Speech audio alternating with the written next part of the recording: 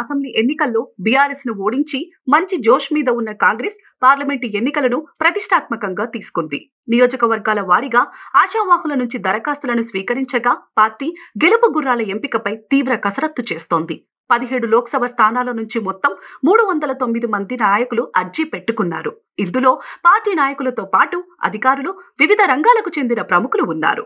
ఈ నేపథ్యంలో ఏఐసిసి తెలంగాణ వ్యవహారాల in-charge Deepa Das Munshi screening committee chairman Harish Chaudhary ఉప ముఖ్యమంత్రి మల్లు బట్టి విక్రమార్క మంత్రి ఎన్ ఉత్తమ్ కుమార్ రెడ్డి తదితరులతో ముఖ్యమంత్రి ఏ రేవంత్ రెడ్డి అధ్యక్షతాన గాంధీ భవన్లో ప్రదేశ్ ఎన్నికల కమిటీ సమావేశం జరిగింది.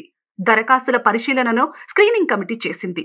గత నెల ముప్పై ఒకటి నుండి ఫిబ్రవరి మూడు వరకు రాష్ట్రంలోని మొత్తం పదిహేడు లోక్సభ స్థానాలకు కాంగ్రెస్ అభ్యర్థుల నుండి దరఖాస్తులను ఆహ్వానించగా మొత్తం మూడు వందల తొమ్మిది మంది దరఖాస్తు చేసుకున్నారు సాధారణ నియోజకవర్గాల కంటే ఎస్సీ ఎస్టీ రిజర్వ్డ్ నియోజకవర్గాలకు టికెట్ల కోసం విపరీతమైన డిమాండ్ ఉందని సంబంధిత వర్గాలు తెలిపాయి.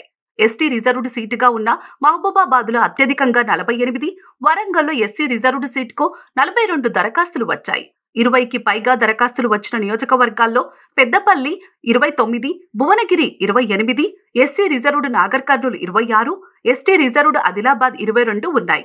ఇక మెదకు పదకొండు మల్కాజ్గిరి పదకొండు హైదరాబాద్ పదకొండు చేవెళ్ళ పన్నెండు కరీంనగర్ పద్నాలుగు సికింద్రాబాద్ పదహారు నియోజకవర్గాలకు దరఖాస్తులు వచ్చాయి.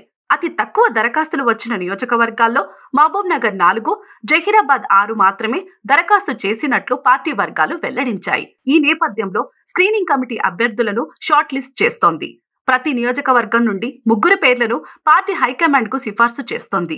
ఎన్నికల ప్రవర్తన నియమావళి అమల్లోకి రాకముందే లోక్సభ ఎన్నికలకు అభ్యర్థుల పేర్లను ప్రకటించాలని హైకమాండ్ నిర్ణయించినట్టు పార్టీ వర్గాలు తెలిపాయి.